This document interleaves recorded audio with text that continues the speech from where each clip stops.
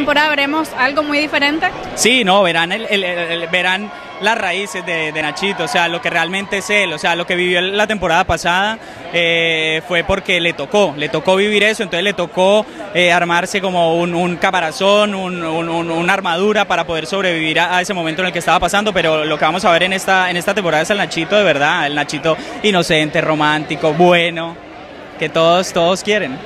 ¿Y qué, qué es lo más importante que le ha aportado a tu carrera artística a este personaje? Todos, mira, todos los personajes aportan un montón, cada proyecto es diferente.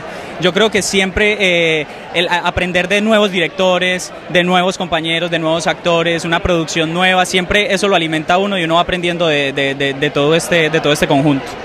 ¿Y qué podemos ver de diferente con esta versión de Sin Senos No Hay Paraíso? O sea, Es reivindicarse con el nombre, ¿no? Un poco. Y, darle un mensaje a la gente que sin senos sí hay paraíso, ¿me entiendes? No tienes que cambiar, un mensaje para las mujeres, no tienen que cambiar físicamente para, para pertenecer a, a- una para pertenecer a algún círculo, no tienen que cambiarse físicamente para agradarle a nadie o para conseguir algo.